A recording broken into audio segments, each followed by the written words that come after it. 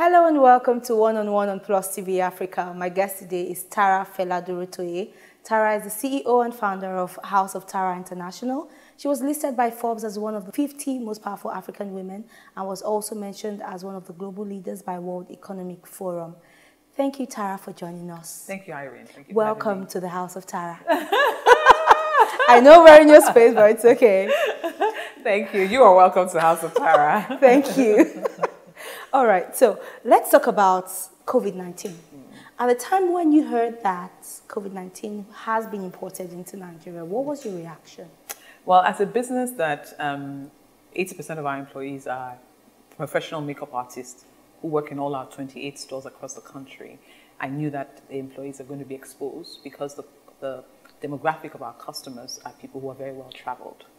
And so immediately there was a risk of us uh, either putting steps in place to prevent, but unfortunately there wasn't even enough information about the, about the virus to be able to, to know what to do. So we immediately shut down. We shut down our stores. Um, I think five days after the Lagos state government had also sent out a message saying that stores, uh, people should close down the stores. So one week before, five days before, we shut down immediately because of the risk for our employees, but also the risk of customers who who come into the store and being exposed to other customers who may have also come into the store as well. And that was the first reaction for us as a business to shut down the stores and get our employees in a place where they're safe and to be ensure that our facility is not a place where it breeds the virus because of interactions between customers.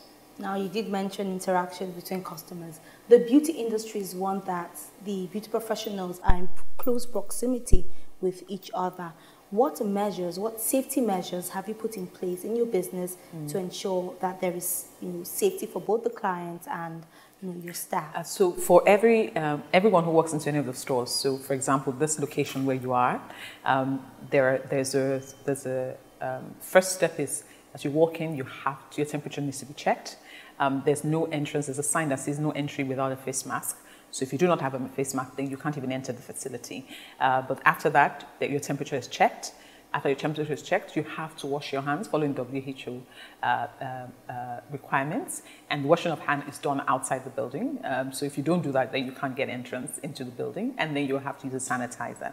You walk into the, when you walk into the store, the professional makeup artist who's on ground in the past would have four uh, makeup artists on ground working in every store, but now we've had to reduce that number to 60%. So some, sometimes we'll have only one person or two persons. We're encouraging our customers to use uh, appointments, booking appointments. We send them um, an app where they can book their appointment and, they, and then we can know who's been here at every point in time. When you walk into the store, immediately the makeup artist wears their overall. Um, overall it's supposed to be a protective measure um, against them interacting closely with the customer just in case. Um, they also wear goggles, they wear face mask, and they wear face shield. Um, they're no longer allowed to wear artificial hair, wigs, weave-ons, and, and, the likes. Everyone has to have their hair covered with a hair nets uh, because we know that the hair has a way can also um, harbor the virus. Um, makeup artists have to learn, have now had to learn how to do makeup wearing gloves. Um, so the face shield, the face mask, um, the goggles, the gloves, the overall, and also the feet. When the I forgot to also mention, when the customer walks in, their shoes is, an, is a disinfectant uh, to, that is placed on their shoes to ensure that even if their, their footwear is carrying anything, that disinfectant also um, kills it. When the customers are being served on a workstation like this, the workstation first of all has to, the first protocol is to spray it with a dis disinfectant, right? Uh, now we're encouraging all our customers to use their own professional products.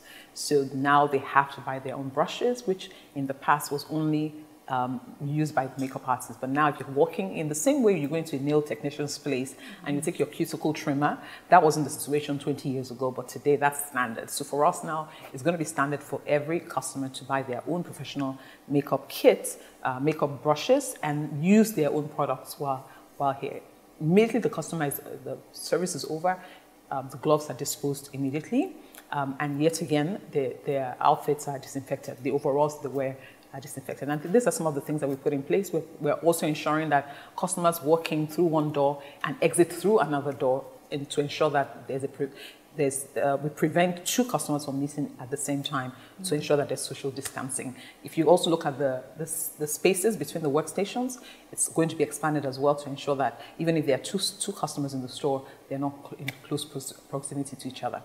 Now, what advice would you give to other makeup professionals out there? Mm. So it's the same thing. Um, um, first of all, safety over money of um, course. Um, and we need to take care of ourselves and protect ourselves. One of the things I've done in the last few days is to host, and I've been hosted at different platforms talking about what we as a company are doing as, as our standard and what we're encouraging others within the industry to do the same, to do same.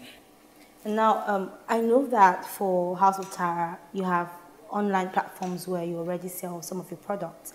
However, we see technology gaining more ground within the African um, space, particularly mm -hmm. in developing countries. So what more contribution do you think technology has to play for those in the beauty industry? Um, I think for us internationally, so many of the developed countries, now if you want to buy a product, you can use uh, an app to determine your shade and what have you. Um, that is, we, we haven't gotten there yet, but we're moving closer because we also realize that a lot of our customers are now becoming more technology savvy and there's a less fear. In the past, customers would be not inclined to make bookings, um, use the app, app, to you know to make a booking for for for an employer, a makeup artist. But today they're now more open to doing so mm-hmm. to, because they're thinking about their safety. Um, I, I, think that going forward as well. Um, um, yes, we're using social media to, to sell our products and what have you. We're going to also have an app, our own app, which makes it easier for you to purchase the product. And I think there are going to be more and more makeup artists today who are going to be more inclined to using technology going forward. The articles would usually suggest that beauty industries would be immune to any form of recession. Mm -hmm, mm -hmm. Would you say that it's the same for it's the same for, for us? Yeah, yes, for, for us in Nigeria. in Nigeria. Okay, so um, in the past where we've had recessions, um, we haven't seen the impact um, significantly because you know our products are what you call um, the, the little luxuries, right? Um, there's a psychological effect that cosmetic has on people. Um, so whereas your Chanel bag or your LV bag is very pricey and gives you a humph, you can have the same feeling if you buy a lipstick, a red lipstick. And the mm. minute you put on your lipstick, you put on your foundation, they're not as expensive as your bag, but they give you the same feeling that you have when you carry an expensive bag. So um, this is the reason why um, there's, you know, there's a talk about recession, being recession proof. Um, however, this is not a recession, this is a pandemic, and we've never experienced it before. Um, and what we've experienced is, first of all, all our stores are closed across the country, which means that every day that the stores are shut, we're not generating any money, right? And all our employees are sitting at home, not doing, these are young people, vibrant people who've always been um, enterprising and, and, hardworking and committed to their work. And those of, those of them who live in fast-paced cities like Lagos have to leave home at 5 a.m., mm -hmm. right? Today, they're stuck at home, um, restless, bored, stiff. Very bored. Very bored, right? And then knowing that the business and the company where they work is not generating any money, there's a fear of the uncertainty. And so um, we, I believe that um, this is not really about a recession per se. It's more around the pandemic and the fear, and that it's not just that people don't have money, it's also the fear of their own safety. And so my concern is that we do not know what, how the impact is going to be, but what we're going to do is know that this is our new normal and begin to adjust. Um, and one of the things that we've done is we've shaped a culture as makeup artists. We've shaped culture as beauticians in Nigeria, and I believe that we can do the same. We've done it before. Nigerians didn't used to wear makeup for every party. Mm -hmm. At some point, it was only brides who were getting their makeup done. uh, that has changed. Mothers are getting their makeup done. Aunties are getting their makeup done for the wedding. Brides, bridesmaids are getting their makeup done. And, and even though that we change that, we can still change and reintroduce a new culture. And this is what I'm saying to makeup artists across the country. Do not be afraid because fear has a way of tormenting and it doesn't give you inspiration and insight. And so if we, if we focus on, on having faith, um, having hope rather than despair, ideas and opportunities will begin to see. One of the things I'm going to be talking about is what are the opportunities that exist in this new economy and it is possible for us to see those opportunities. So we're going to hold your thought right there because I want to know how this is going to impact on the beauty industry post-COVID-19, but this will be after the break. We'll take a quick break now. You're still watching One-on-One on Plus TV Africa with Tara Durotoye.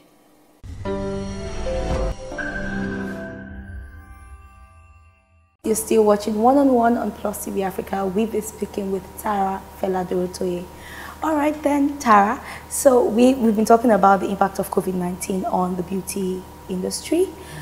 How would this affect the way you do business moving forward post-COVID-19? Um, I think, taken from a standpoint of um, the, the, customers, um, I think that one of the things that this is going to do is to shape change how we um, research what our customers want. Um, because in the past, we've already had a system uh, of getting feedback from customers to know what they need, uh, what House of Tara can, what problems House of Tara can solve.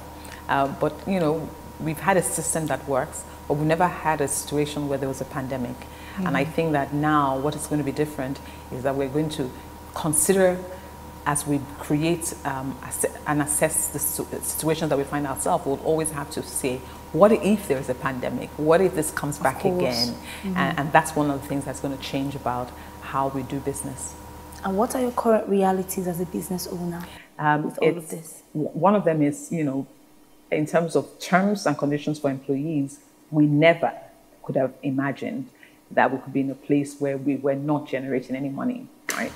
And we've been on this for two months, mm-hmm. um, and we didn't have any um, any um, any of any terms uh, of engagement for employees in a situation where that there's a pandemic mm-hmm. Um, uh, or where there is a shutdown in stores uh, if there's a war, if, these are things that we never considered, and, and now we're going to. Um, this is what because we probably didn't think it was ever going to happen. No, it was possible. It was impossible, right? Um, and so even how we respond, um, thinking of, around mental well-being of our employees, um, that has always. I mean, we have a very strong culture of, of care within within the company, but this is even more so because I spent a lot of time in the last two months engaging employees more than I, I have ever had to um, and created care groups. Um, and with the care groups, managing a team of people and just checking in on them and just asking them how their heads are doing, how their hearts are doing, how they're feeling in this time, what's, what, you know, what feelings are they having, and constantly having Zoom meetings just to check in.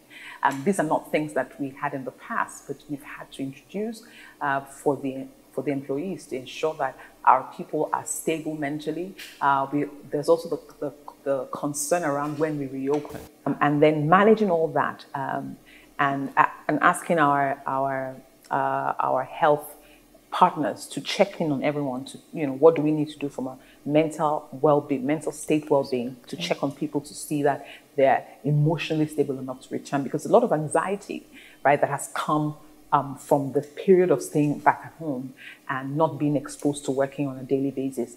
And so these are some of our realities. Well, mental well-being of our employees is of, great concern to us. Um, the, the, the, the loss, the revenue loss uh, of course of, this year is also a great concern. But I'm, I'm also very hopeful and to create mm-hmm. new things and force everyone to come out of a place where we have become settled. Oh, we pioneered an industry. Yes, great, but what else, right? And I think this is that period where it's going to force us to do so. What has all of this taught you? What lessons have you learned from the pandemic? I, I think one from a from a spiritual standpoint that you know as much as we want to control the world we do not have the power to do so and look at it we've just suddenly stopped the entire world has stopped and we haven't found a solution to it, right? And so there's a, for me, there's a, a, a renewed dependence on, on a supreme being, right? There's a new dependence on the supreme being that this world is not really ours, right? And, and, and it was created by someone else. And therefore, that if that someone else says, you know what, pause, then we you have, have to pause. pause. And this is what has happened. Um, and, but I think what I love the most also is it's, it's the time that I'm spending with my family, uh, with my children. You know, they, they're all grown now and, and we never had, I've had this time where we can have breakfast, lunch, and dinner. I, I, don't, I don't even remember that that's possible in the past. And my boys are cooking, you know, and doing their chores, right? In the past, that wouldn't happen, but this has forced that to happen and, and mm -hmm. the mm-hmm. bonding. And so, as much as it's a, it seems like a doom spirit, I'm also grateful for the bright lights that I've seen. And I recently said to the team, I said, you know, for those of you who are excited um, about this season and who are going through good times, there are times that you may go through a bad patch. But remember to keep the light on in your window because somebody else is watching. Mm -hmm. Now, we see that across different governments, there are palliatives that have been put in place to support different businesses. What's your take on this? Um, unfortunately, I don't know anyone who has benefited from it, from, the, from this, uh, from the support um, that, that government is giving. It's unfortunate that it's taking such a long time.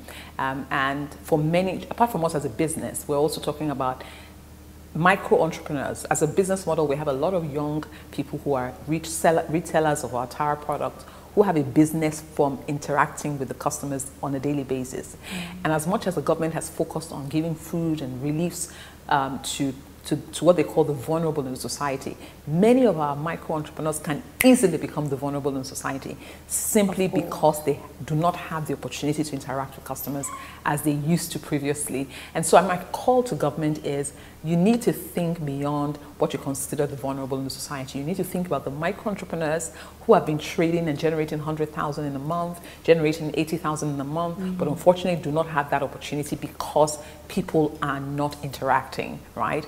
And they have to consider them and, and see what can be done. But the response time is too slow. It needs to be heightened. There needs to be an increase in the speed in which this is being addressed. Otherwise, as much as we have 90 million poor people in Nigeria, soon that number is just going to drastically increase uh, by people who are well educated, who have funded small business, tiny micro businesses, who can easily fall into the, this category of the poor and the vulnerable. And how would you, um, what's your reaction to the federal and state government's approach to the pandemic mm. curbing? Yes, I, unfortunately, um, my response to that is, is, is that you know, I, I, I do not see, I do not see that the approach is effective. Mm. Right? Um, there are few countries that are, the approach have been effective. Unfortunately, Nigeria is not the West, and so I, I, guess government will have to find what works as we go along. But there are little things like, for example, before we opened, we wanted to do an N- NCDC uh, check. We wanted to do a test for entire em- employees as people resume to check that everyone is not is not infected. Mm-hmm. Right? You couldn't get NCDC on the phone. Right? We called them for three days stretch. Finally, we got through it once, and as the, we got through, it says, "Oh, let us give you Lagos number." The line cut off, and guess what? we, was, we were not able to get through again. So how on earth are people going to actually get tested if they need to get tested, for example, if there's nothing in place to make that happen? It's unfortunate. But what I've told everyone is regardless of how efficient a government is, America, developed countries are not getting it right. If Nigeria doesn't get it right, our only trust will have to be in God at this time. And what would you be? What would be your advice in terms of putting processes and structures mm. that would benefit businesses such as yours? Mm. I think I think we need the, the government needs to work with um, with groups. Um, leaders, group leaders of the of, mm. of different industries, and and and walk through a, a team of people who know where the issues are um, and how to address them. So for example, in our own case, it would be oh, how, how long do you ensure that you're going to keep people employed and pay them when you're not generating any money? If government says our businesses can't reopen, how do we fund Survive. the number of mm-hmm. people that we, we're employing? This is a real issue for us, and there has to be a group that's able to assess and say these are the real issues for a company like House of Tara and the likes, and therefore this is how to respond to them. Tara Fela thank you so much for joining me on One on One. You're welcome. Thank Certainly. you for having me. Mm -hmm. And that's all on One on One. For more content of this nature, please follow us on Facebook, Instagram, and Twitter. You can also follow us on DSTV channel 408.